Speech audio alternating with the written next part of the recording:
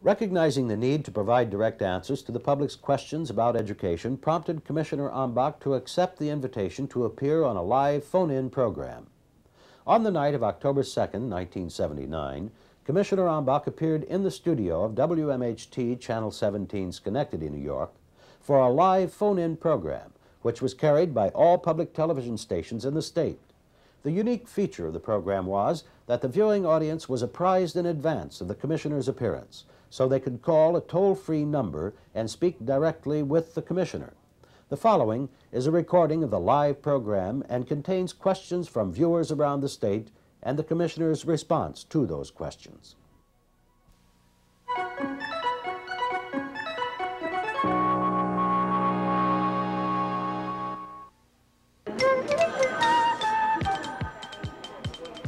Live from Schenectady, New York, call Gordon Ambach, New York State Commissioner of Education. Your host tonight is Steve Sullivan. Good evening. With us tonight to answer your questions is the Commissioner of Education for the state of New York, Gordon Ambach. Commissioner Ambach has been a member of the State Education Department since 1967, and he's been the Commissioner since July of 1977. Gordon Ambach is also the Chief Executive Officer of the New York State Board of Regents, a position which gives him jurisdiction over all types of education, including universities, schools, vocational programs, libraries, and the licensing of 30 different professions. Commissioner, nice to have you here. I'm delighted to be with you this evening. We'll be taking our call in just a moment, but first a couple of reminders. Firstly, in fairness to all our callers, we ask that you limit your question to the one you requested and that you be as brief as possible so that we may get in as many questions as possible. And secondly and lastly, please remember that you are determining the questions on tonight's broadcast. Our sorters, and we do have sorters, are only there to make sure that we don't duplicate subjects and that we hear from all parts of the state. Neither the Commissioner nor I have any advance knowledge of the questions to be asked tonight. So, Commissioner, if you're ready, All ready. we'll have our first call. Good evening. Where are you calling us from? I'm calling from Binghamton, New York. Hi, Binghamton. Go right ahead. Uh, Commissioner, uh, in view of the high percentages of schools in New York State incorporating corporal punishment as a form of discipline, and I refer to uh, a study showing that 24% of school principals surveyed use corporal punishment, and 37% of uh, 60 school districts studied permitted it, and most of the children are usually in the younger age categories. Would you consider using your good offices as our principal statewide educational leader to review the matter, and if you find corporal punishment to be a classroom model of violence and a form of child abuse, would you call for banning corporal punishment from our schools? State law does not restrict the use of corporal punishment in schools in New York State. That's left to local school district jurisdiction. There have been bills before the state legislature that would uh, bar corporal punishment. I have not favored such bills, and I have told the members of the legislature so. I do, from time to time, sit on cases, on appeals that come before the commissioner where there may have been an abuse of corporal punishment, and I render decisions on those cases. I think that the system that we have in place in the state, leaving local jurisdiction with the decision as to whether there shall be corporal punishment or not, is the right, uh, right way to do it. And I believe that our system of appeals to me uh, has been working properly in the past. Should I follow up? Surely. Yeah. I, I, I would suggest, Commissioner, that uh, perhaps in this area we do need some state leadership. And, uh, and uh, I would only appeal that uh, perhaps you would review the, the, the entire matter and, and, and reserve your judgment for a later date. I certainly am always willing to look at any additional evidence that there might be and uh, review it in that sense. But uh, I have no reason at the moment to change the position that I've taken. Thank you. Thank you very much. We do allow a follow-up question if you wish, uh, but only one, and make it a follow-up, please, not something entirely different.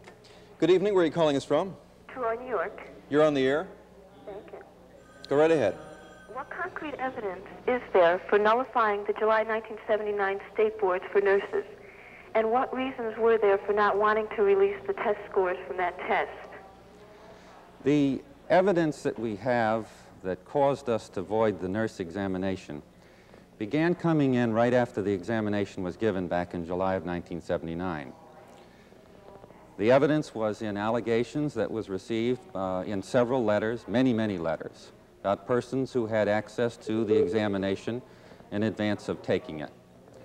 After we received the scores from the National League for Nursing, the national association that does the examination and scores it, we checked those scores, and it was our unfortunate determination that there had been widespread access to this examination before it was taken. Those scores indicated that there were very suspicious results, especially with respect to those who had failed it the first time and then taken it and received very high scores later on. All of this evidence has been turned over, of course, to the BCI here in the state, the Bureau of Criminal Investigation, and we have provided that evidence to the national investigation being conducted by the National League. Now, in voiding the examination, we had to take the step of barring the release of information for this reason. All of the candidates taking this exam have a limited permit to practice in the state. By law, once the results of the examination are made public, they can no longer have a limited permit. But if we are not using the examination to provide licenses and have voided it, and yet are releasing these scores which limit or void the limited permits, we would put all of those candidates having a limited permit in a circumstance that they could no longer continue to practice. It's for that reason that we have not released the scores and have no intentions to do so. We want to be sure that those having the limited permit can practice until they take the examination in February. Uh, Follow-up question, perhaps? Hello? Yes. Uh, Um, why would such evidence as letters count? If people say that they did not cheat, why doesn't that hold as much of an impact? We believe, of course, that the vast majority of persons who took this examination were not guilty of the security break, nor were guilty of any cheating on the examination. But the problem that we have is that there is clear evidence of widespread availability of the examination. In order to assure the public that each and every person who is licensed as a nurse has satisfactorily displayed competence on this examination, we have no alternative but to ask and to require that each person take it once again. I know that's a hardship on all, but we believe that in the interest of the nursing profession and protecting the public, it's absolutely essential that we do this. I thank you for your call. Thank Thank- you. Thank you very much.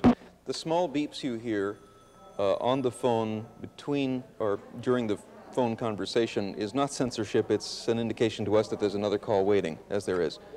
Good evening, and where are you calling us from? I'm calling you from the vicinity of Valley Stream, Long Island. Hi, you're on the air. Okay. Uh, Commissioner Ambach, Sarah, I know you have a monumental task of answering all the questions that are being asked, but uh, this one here seems to be bugging me quite a bit. Uh, and the question is this. In a central high school district that is comprised of three elementary school districts that would have four school boards to deal with, now, which school board or who is responsible for disseminating the details to the individual communities as to their total tax burden prior to budget voting time? As my school board only informs the community of the elementary school portion without including the portion of the high school, therefore the communities are in the dark, especially in my community, which is District 24. well, each of the boards, of course, has a responsibility. Each of the boards has a responsibility for, The board has the responsibility. for information... It says no, that the high school has the responsibility, and the high school says no, that the district has the responsibility, and I seem to have a jurisdictional thing, and that's why I'm calling you. Well, maybe may I repeat? Each of the boards has responsibility for its particular area, but then in sum and in total, you have uh, a consolidated responsibility overall. I think that in this particular case, uh, if there is a special problem I would request that you might bring it to my attention, perhaps by a letter following up this uh, call, so that I could look into the details of that particular case. Okay, I will be very happy to do it. Fine. Thank you ever so much. You're welcome. Thank you for your You call. get a letter from me explaining the details. Thank you for your call. Right. May I ask our, all of our callers to speak up? Some of the lines are a little bit faint throughout the state. Uh, I guess the line gets a little long when it goes to Buffalo or way out west. Uh, so please do speak up when you call us here. Good evening, you're on the air. Where are you calling us from? I'm calling from East Meadow on Long Island, New York. Good to hear from you. Go right ahead. I'd like to ask the commissioner what is going to be done or is being done for the gifted students in New York State. These are our leaders of tomorrow, and they're left in a regular classroom, and they're quite bored with the traditional work. Now, there are a few programs I know that have been be- uh, begun in the fourth grade, but that's really too late. They should have something starting in the kindergarten so that their potential will not will be developed and not uh, lie fallow. It's the gift, the gifted and talented students that I think you're referring to. Yes.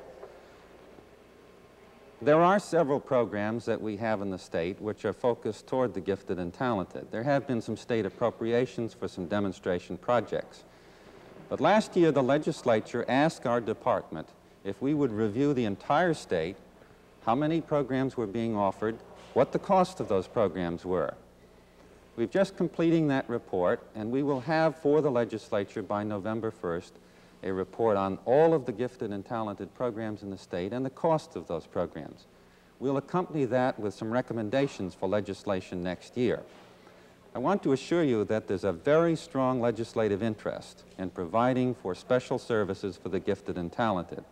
And I suspect that at the next legislative session, there is going to be a good opportunity for some additional assistance for these students in programs that will continue right from the very early grades all the way through completion or graduation. Thank you very much. Thank you very much. You're speaking to the New York State Commissioner of Education, Gordon Ambach, and we're pleased to receive your calls, and you can do it by calling the number that is appearing on your screen. Good evening, you're on the air. Where are you calling us from? I'm calling from Ghent, New York. Hi, go right ahead. Commissioner Ambach, everybody agrees that the present means of financing schools via the property tax is unsatisfactory and inequitable. What are you, Commissioner Ambach, and the Department of Education going to do about it? May I call to your attention the important litigation that is now before the appellate division in our state, the so-called Levittown case. In that case, the property tax was challenged, and indeed the entire system of financing education in New York State was challenged. Decision was made in the Supreme Court by Justice Kingsley, Kingsley Smith that our system of financing education was not constitutional. That's now being heard in the appellate division. Board of Regents and Governor Carey joined together to establish a statewide task force to review the issues before the court and to make recommendations on changing the financing system. One of the key issues being reviewed is the possibility of shifting to income as a base for wealth in the different school districts rather than property. Final decisions on changing our system of finance will really not occur until after the litigation is through the appellate division and the Court of Appeals.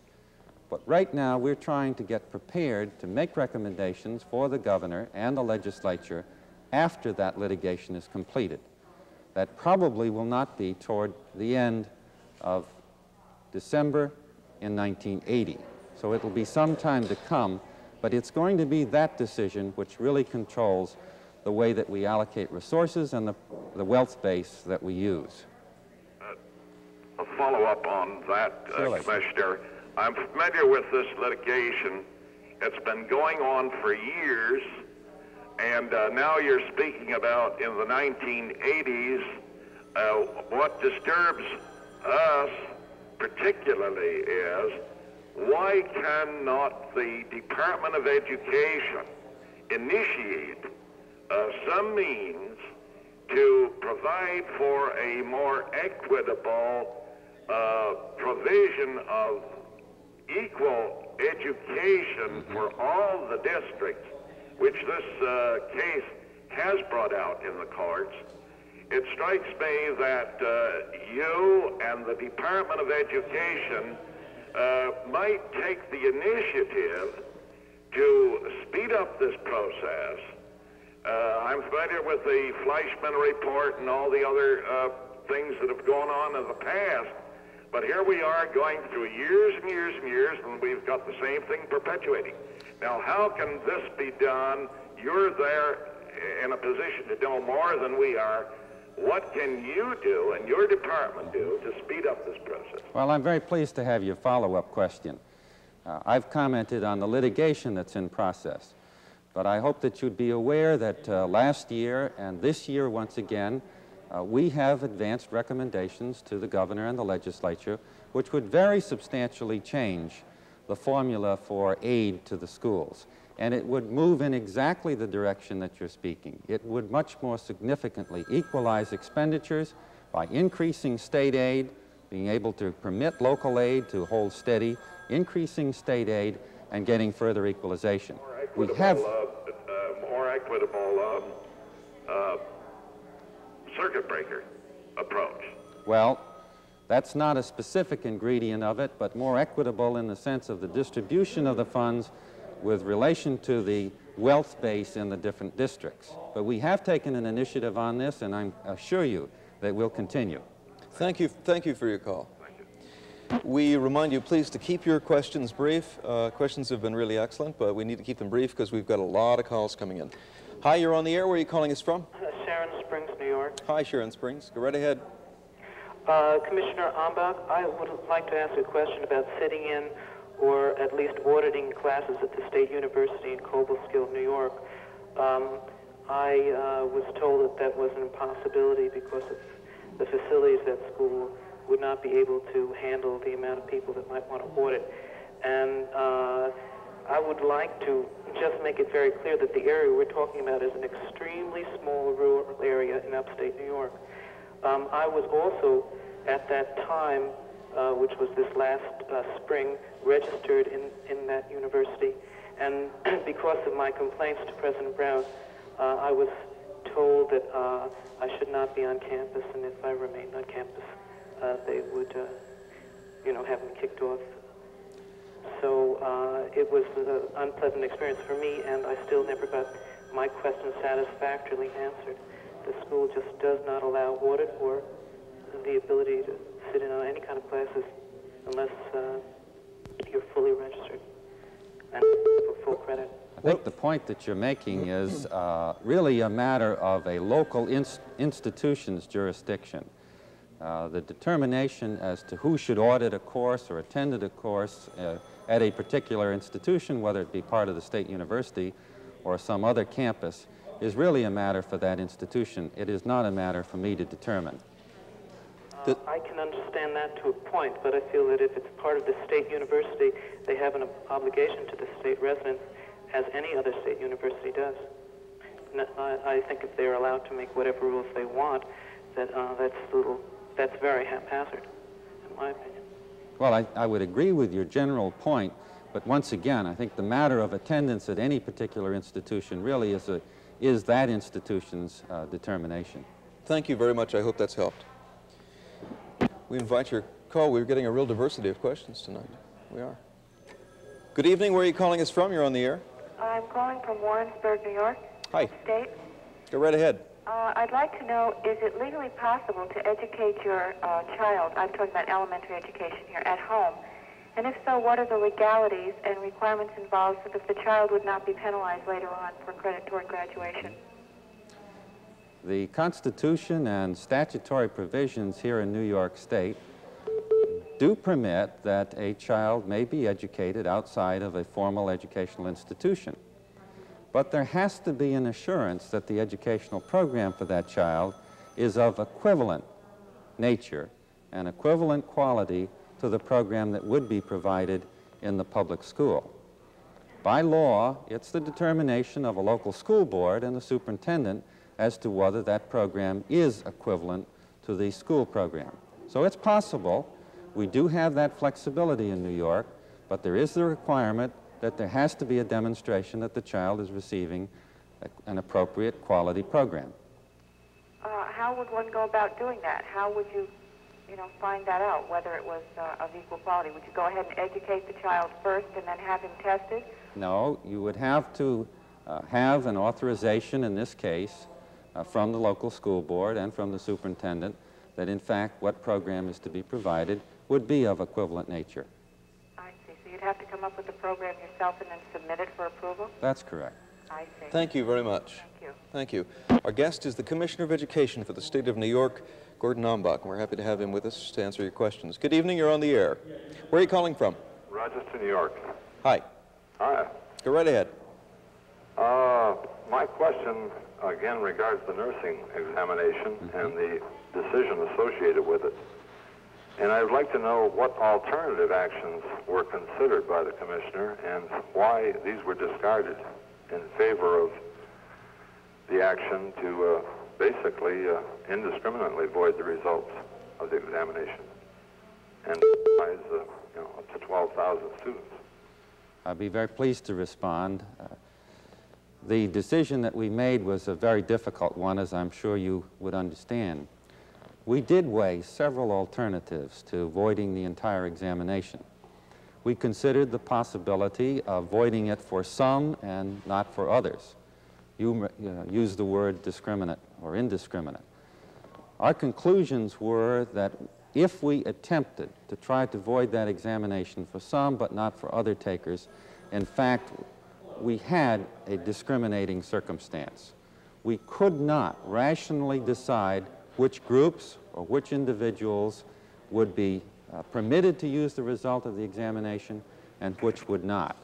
It's a very, very difficult decision to have to move to voiding the entire exam, but we believe that in fairness to all, we must do that. Does that answer your question? Uh, partially. Uh, the examination was based on some form of statistical analysis, and I question why uh, the same statistical analysis could not be used to validate or invalidate the test and correlate uh, test results with academic records. Well, you can't do that exactly because of the fact that the candidates, some 12,000 in number, who come from so many different schools and so many different preparations, uh, don't carry with them an exact base of information that could be used to do this kind of statistical analysis. Even when you complete, or you might complete some statistical analysis, we're still left with a very nagging problem that we know that there was widespread availability of this examination, and yet uh, we cannot exactly determine whether a person had access to that or not. You cannot finally determine that even by statistical analysis. And we must, in this instance, I think in the concern for the public and the safety and the integrity of the nursing profession, those who would be licensed because of this examination, we felt that it was absolutely essential to void it and then have an opportunity for all those to display their competence on another exam. Thank you for your question. Thank you very much. If you'd like the opportunity still to question the Commissioner of Education, Gordon Ambach, please use the phone number that's appearing on your screen. That's the only number that works, and it's only for state residents, New York state residents. Good evening. Where are you calling us from? I'm calling from South New York. Hi, you're right ahead. Okay, this is Fred Gang from South New York. Good evening, Mr. Commissioner. Good evening. At present, Regents College scholarships for high school seniors are awarded on the basis of a geographic, county-by-county quota system, even though all candidates compete on the same SAT exam. If all potential New York State lawyers, doctors, nurses, pharmacists, etc., compete evenly on a total statewide basis, why not Regents scholarship candidates? Mm-hmm. Good question. The requirements for the Regents Scholarship Program are, of course, established in state law.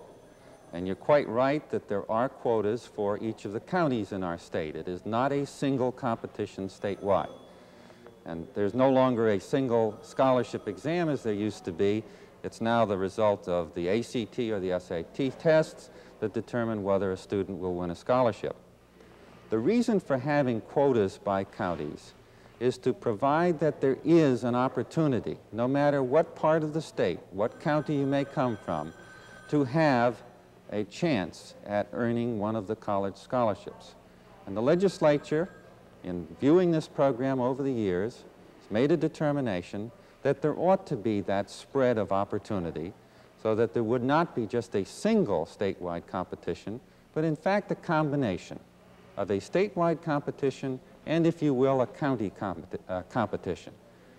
This would provide and does provide that there is that opportunity for scholarships to be awarded throughout all our counties and indeed virtually throughout all of our secondary schools.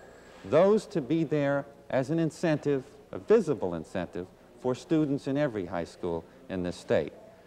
That's the reason why we have the quota system. I think it's a sound one. Okay, as a follow-up then, based upon your previous answers to the question about nurses' exams, Mm-hmm. would you still favor a quota system for nurses then, for doctors, for pharmacists, for lawyers, etc., to have this equality of opportunity all around the state? No, I would not. The examinations have very different purposes. On the one hand, you're talking about a licensure examination to determine whether a person is qualified to practice in the state. On the other hand, you're talking about a scholarship exam, an exam through which we reward certain students for their capability and provide that extra boost toward college uh, education. I think they're quite different purposes, and it's justifiable to have a different base for awarding the scholarships. Okay, thank you. Thank you. you. very much. You mentioned two tests. I wonder if you could tell us just what the, the letters mean. SAT is, That's the Scholastic Aptitude Test. and ACT is, As the, that's the American Council on Testing Program Series. okay. Students know them as SATs Okay. and, and ACTs. They don't know the, the backup words. All right. Good evening. You're on the air. Where are you calling us from? I'm calling from the great city of the future, Buffalo, New York. Hi. Go right ahead. Steinbeck.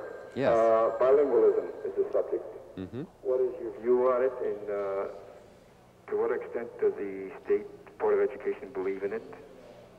And also, what effect does that uh, court decision in Michigan have on the state? Does it have any influence on the state's thinking? Let me respond to the first two parts of your question. You may want to comment later on the uh, third part of the question. We have in our state a tremendous resource in that we have persons who have, by way of background, a native language which is not English. We have literally thousands and hundreds of thousands of persons in our state, and always have in New York, had this rich mixture of backgrounds and language.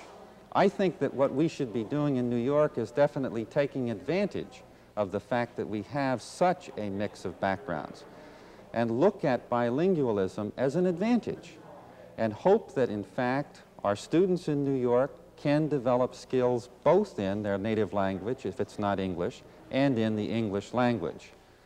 Our policies in the department and with the board have been toward promoting the development of bilingual education programs, of bringing students along in their native language and in English so that they could be truly bilingual. Again, I would say we have in this state a tremendous resource. We think of ourselves in our international setting and think of the potential for our economy and for world trade, for international activity, and we've got that chance to build a bilingual, a multilingual society where we can indeed continue to be a world leader and have the people who can work in our business and industries who need two or three languages Yes, but to won't serve you, you in effect be producing uh, these schools become, uh, won't these schools become towers of Babel, whereby instead of assimilating everything, you're actually uh, separating everything, everything so that people will need to uh, educate themselves more to, to actually uh, understand each other. And the thing is to lessen, not increase the, uh, the effect uh, of uh, language. I believe not. Uh, I do not support the development of monolingual programs in languages other than English. I'm supporting, and we have supported, bilingual programs, which genuinely mean that there is a competence gained both in English and in the native language Well, of let me the ask you student. another question. Sure. We have a new wave of boatload people coming over, right? Okay, assuming that uh, uh, a, a large proportion of them are centered in New York. Does that mean that we're going to have another language instituted in the curriculum and that we have to understand another language and give them equal uh, right to the uh, use of their language? And, which not necess- Not necessarily, but there are, of course, certain rights which have been established by law now uh, to the effect of providing opportunities for those whose native language is other than English, an opportunity to be able to gain the skills in English uh, over time in order to have an equal educational opportunity. We want to continue to promote that. I'm sorry, we, we must move on. We've got a lot of phone calls. Thank you. Um, we do ask you to limit your question to the one you asked in your request, that you keep it brief, uh, and that one follow-up if you wish, but we've got a lot of calls, so that's why we're asking you that. Hi, you're on the air. Where are you calling us from? Good evening. I'm calling from Guilderland. Hi. Good evening, Commissioner. Good evening. I'm uh, one who believes that we're very fortunate in, in New York State that the majority of the people in our school systems are dedicated, very fine teachers who have nothing to fear from competency testing. But when you consider that in many of our so-called best schools, with 85% graduates college bound, which seems to be the measure mark, and in our elementary school, we still have the fourth grade teacher with tenure who ties an overactive child to his chair with a dog chain. And in the second grade, the teacher who hangs a sign reading nail-biting baby around a little girl's neck. And in the middle school section, we still have the teachers who cannot spell for board assignments. And in the high school section, we still have the teachers who believe that rotten language and sexually suggestive remarks make them popular with students. Considering these, Commissioner, will you still will you push for teacher competency tests? There are different types of tests, uh, and when we talk about competency tests for teachers, it's important to know what we're, what, we're- which type we're talking about. The key testing that is done with any profession is, of course, an initial test for licensure. In New York State, up to 1926, we had in place statewide examinations for purposes of licensure or certification of teachers. After that time, the system shifted so that there would be a determination of qualification on the basis of the college program.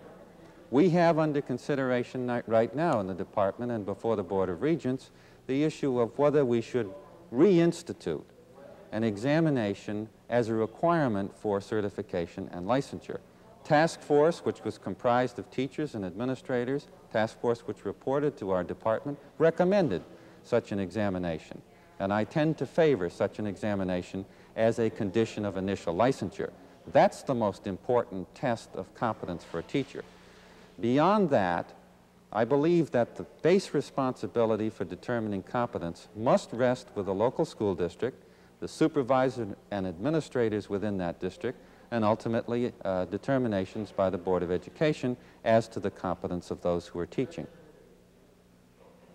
Does that answer your question? Do I have a quick follow-up? Sure. Does this in any way, or will it in any way, incorporate a type of emotional competency to deal with children on a continuing basis?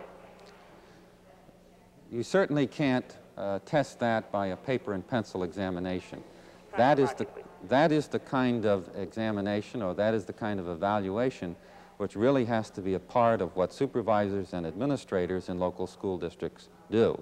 So that the, in the sense of having a single test or some statewide test, you cannot in fact measure that ingredient. You've got to rely on local school districts to make those determinations.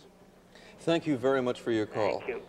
You're watching the third in a series of statewide broadcasts from Schenectady, New York, and our guest tonight is the Commissioner of Education for the state of New York, Gordon Ambach. And we'll go to our next call. Hi, where are you calling from? Chatham, New York. Hi, go right ahead. Okay, thank you. I'm going to talk about competency testing too. Mhm. But in this case, the Regents competency test, competency test and handicapped students. I'd like to know how handicapped students who, because of their handicap, will not be able to pass all parts of the Regents competency test will obtain a high school diploma. In considering this very important question, we must uh, be sure of which handicapped students we're talking about. We have more severely handicapped students. We have students who have learning disabilities. Mentally retarded students. We have students who are handicapped by a physical handicap but may not have a handicap in their intellectual capacity. Now, the Board of Regents have set as the guidelines and regulations for our competency testing program and diplomas the requirement that all students must pass the competency test in order to attain a diploma. Students who have learning disabilities may take those examinations with special assistance. They may have certain parts of the examination read to them if they happen to have a problem of dyslexia. Or they may have certain mathematics examples which they can do with a calculator if they have difficulty in making those calculations without this kind of a machine.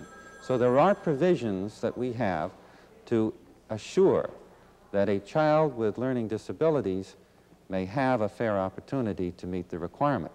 But the requirement applies to all students. Uh, what I was specifically referring to is two of my children are deaf, and because of the nature of the vocabulary on the reading part of the comprehension, the reading comprehension, Mm-hmm. I'm sure that they're not going to be able to pass it. The writing and the math part, I'm sure they'll fly through with no colors, no problems. Mm-hmm. And um, I can't see my daughter going to high school for four years knowing that when she's finished, just because she hasn't passed this one part of the test, Mm-hmm. she will not be standing on the stage with the other students receiving her diploma. Well, may I comment about uh, special provisions as well for students who are deaf? For many, many years in our own state regents examination program, we have been providing special ways, special testing devices for children who are deaf. We also have them for children who are blind. I think that it would be very important for you to confer with your local school district authorities about exactly what kind of testing technique would be appropriate for your children. It is our intention that in the testing technique, we do get a legitimate, we get an accurate indication of the competence of the children. Thank you very much for your question. Thank you. And if you're interested in making a request to question the Commissioner of Education, Gordon Ambach, simply dial the phone number that appears on your screen. That will get you in for a request, and we'll call you back. Hi, how are you? Where are you calling from? I'm calling from Albany. Hi. Uh, Commissioner Ambach, my particular question deals with the uh, New York State Lottery. Uh, when this first came out, it was supposed to be sort of a panacea to education in New York State, and uh, I guess my question is, is the New York State Lottery in fact supporting education in New York State? The answer is yes.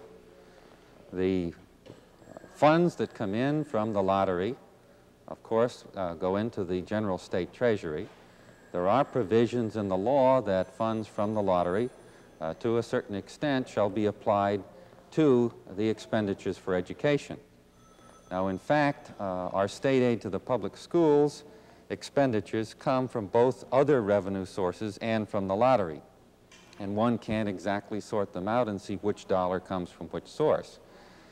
There is a guarantee, of course, by the state that there's going to be sufficient revenues from all sources for the state aid to public schools formula. A part of those come from the lottery, but that guarantee, of course, is not based just on what the lottery will realize. So the funds are being used for education, but they're clearly not the only funds. Is, uh, I guess there is a follow-up. Is there any way to ascertain what percentage of the lottery funds are being used for New York State education? Uh, the lottery tickets are still being sold, and our taxes still keep going up in regard to New York State education.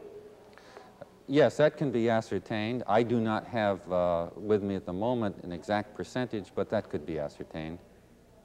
Thank you very much. Thank, Thank you, you. very much. You really are getting a diversity of questions tonight, and some good ones, too. Hi, where are you calling us from? I am calling from Islip, Long Island. Hi, how are you?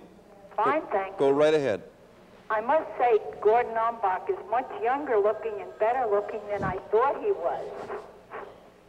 But what I You want get two to questions. Say, pardon? You get two questions. Yeah. What I want to say is, did you ever read the book Guide to Suburban Schools by the science editor of the New York Times? No, I'm sorry, I have not read that book. Well, it's fascinating.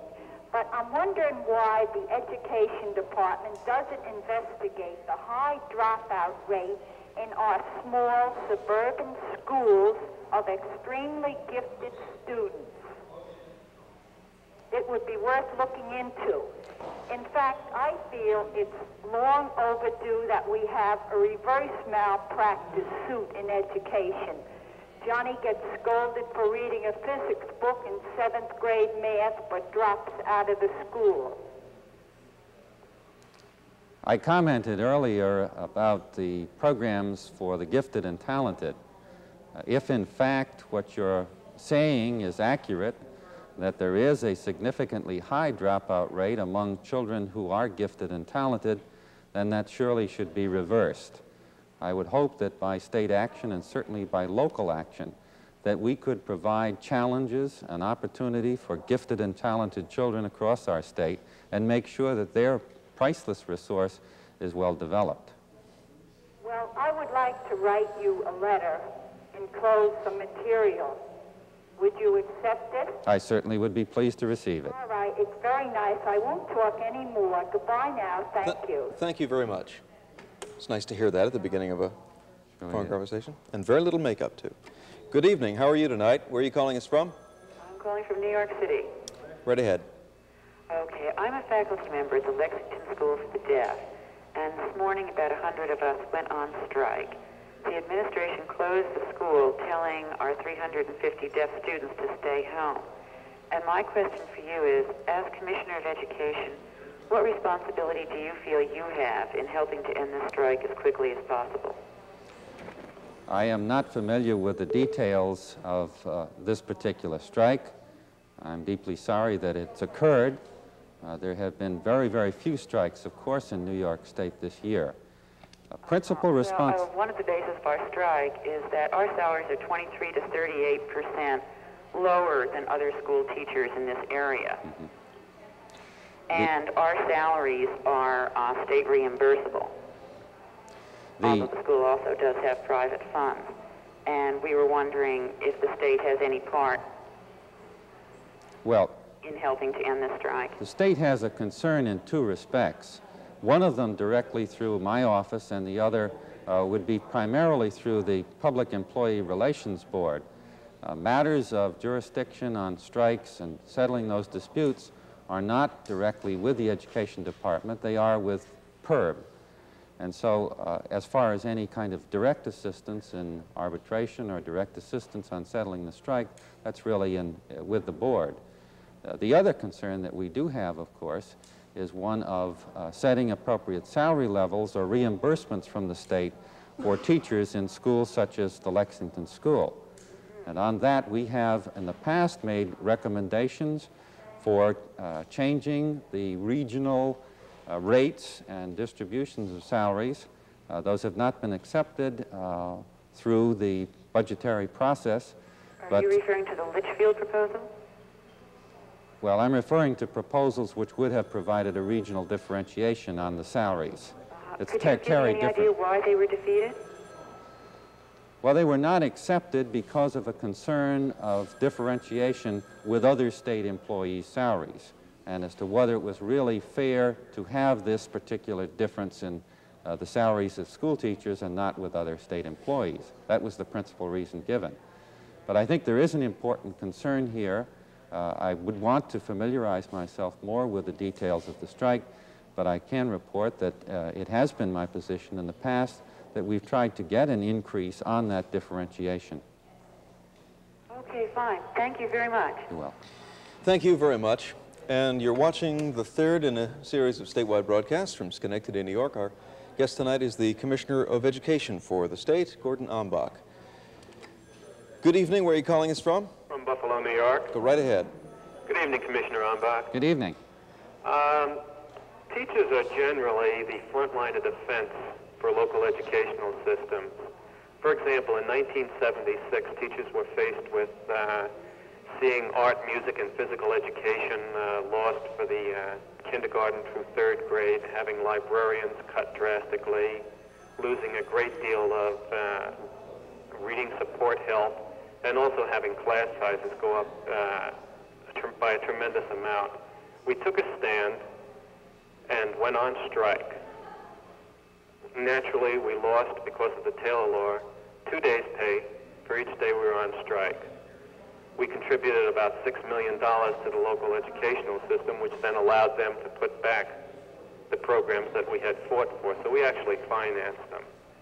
Uh, a year ago, our contract came up again, and naturally we were quite weakened by that tremendous loss in salary, and we could not afford to take a stand again.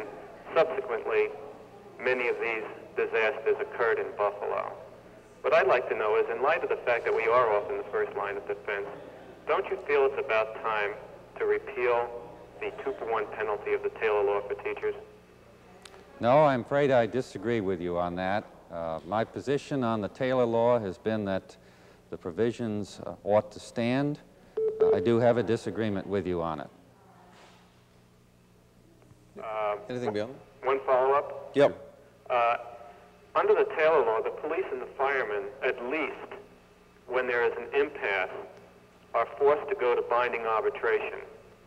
Under the Taylor Law, teachers, although not as essential as a fireman or as a policeman when it comes to public safety, don't have that option. In other words, they cannot be forced to go to binding arbitration. Don't you at least think that this aspect is unfair? I'm sorry, I'm going to disappoint you again with the answer.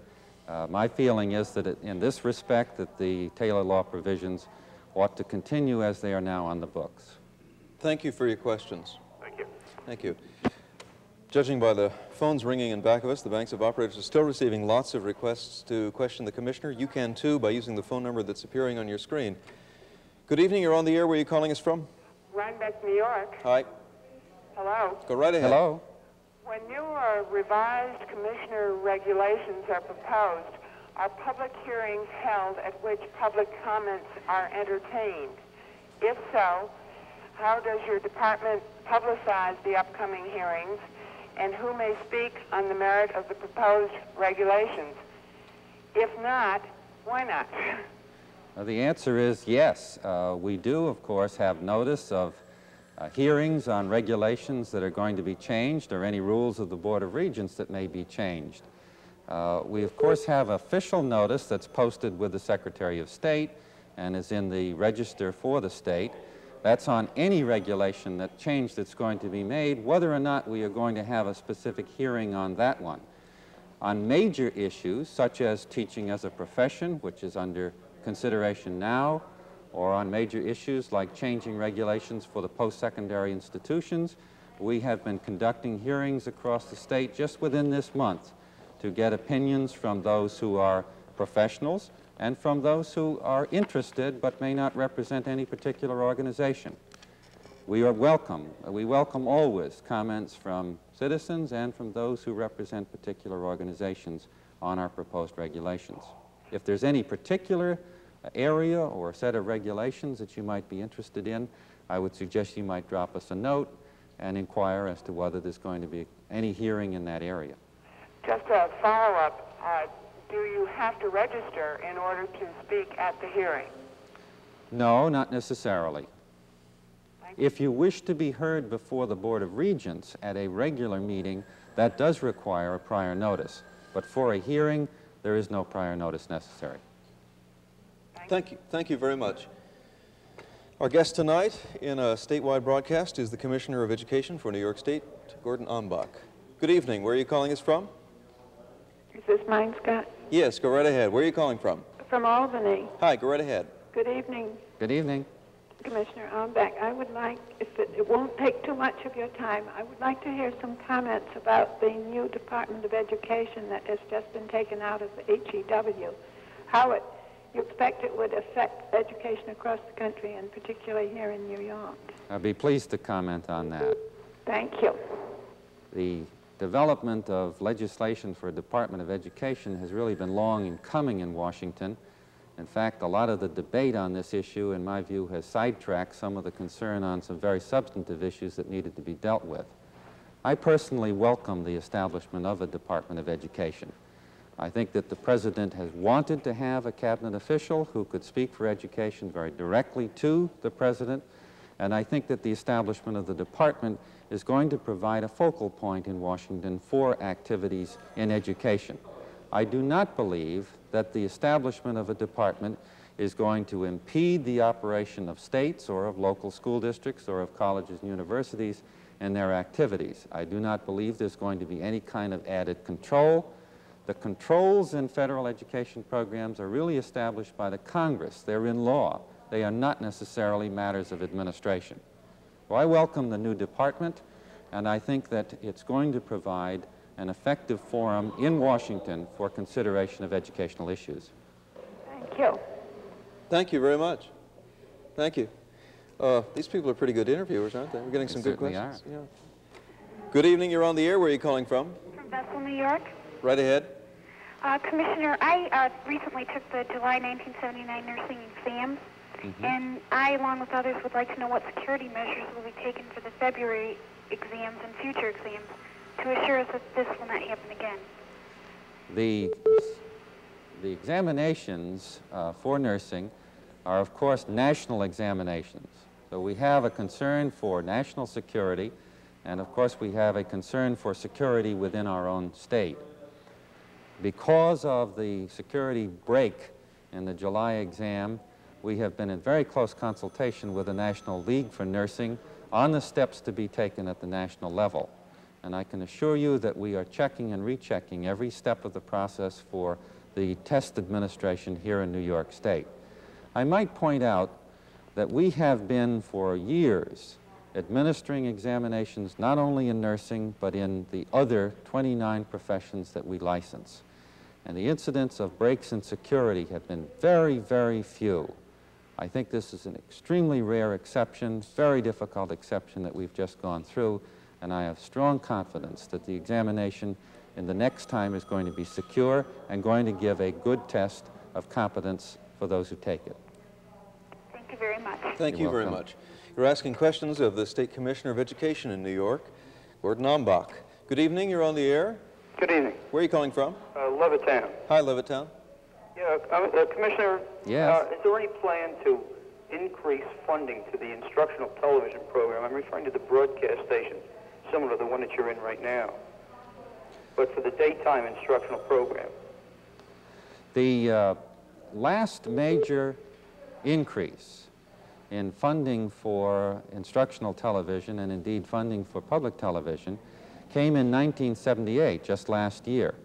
Very important new legislation that we advanced to the Senate and to the Assembly that would authorize officially the formula for distribution of funds and would increase funding quite substantially by more than two millions of dollars over where it had been.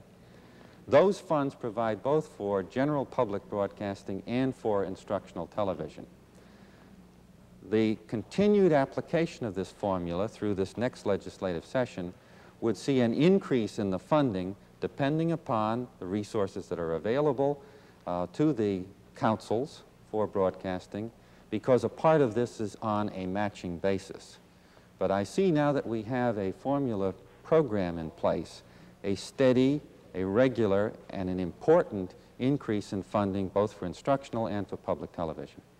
Thank you. The natural follow-up to that is, is the state ed department going to go uh, to a program for uh, helping school districts get the equipment necessary to view the programs? You know, there are a lot of schools out there that don't have the facilities to receive the, these fine programs that are on. We have, uh, in the past, not had a uh, categorical or an earmarked program for funding this kind of equipment, but we have uh, considered that the general state aid formula uh, and general state aid expenditures could be used for the purchase of such equipment. I would point out that uh, last year the state legislature increased state aid to the public schools by some 245 millions of dollars. It's a very substantial increase.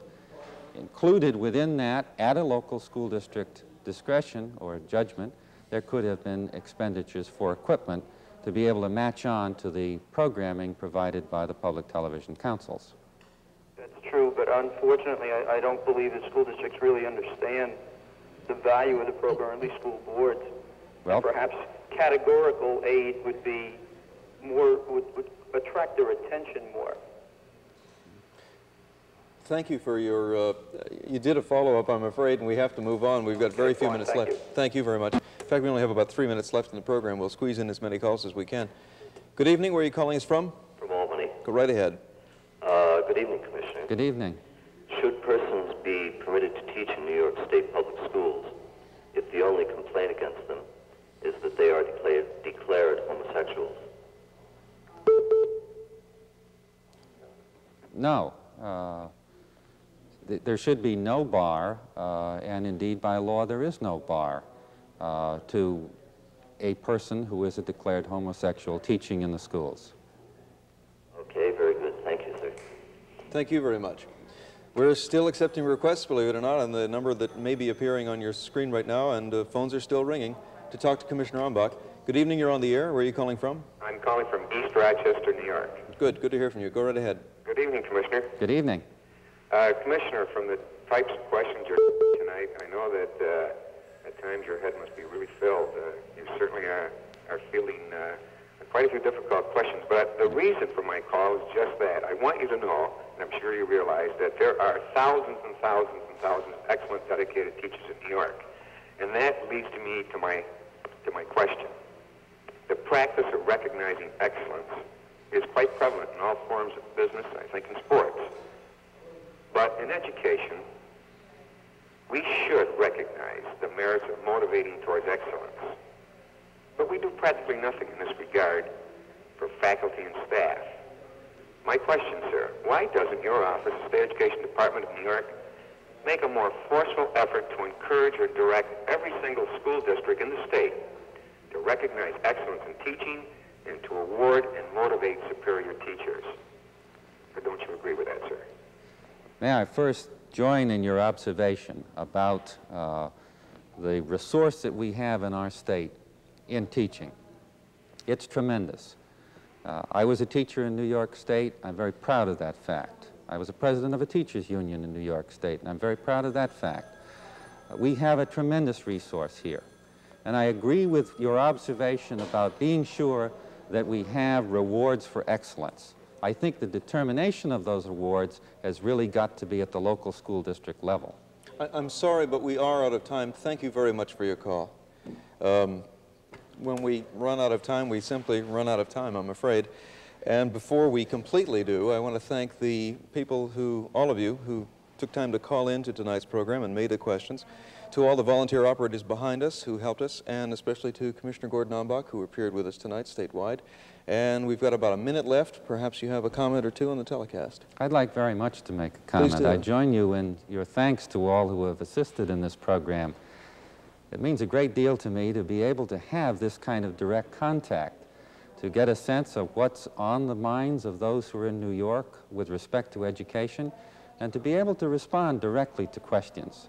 I've been all across the state in regional conferences doing this, and this is a great opportunity through public television to do the same on a statewide basis. We have a tremendous resource for education here in New York State. We have it in our formal institutions, and we have it right here represented in public television. I'm very pleased that I've had this chance. I hope there's another opportunity when we can do the same thing again and field these good questions about education in New York. We do too, and it's been a pleasure, and we thank you, Commissioner Ambach. I'm Steve Sullivan. Good night from Schenectady, New York.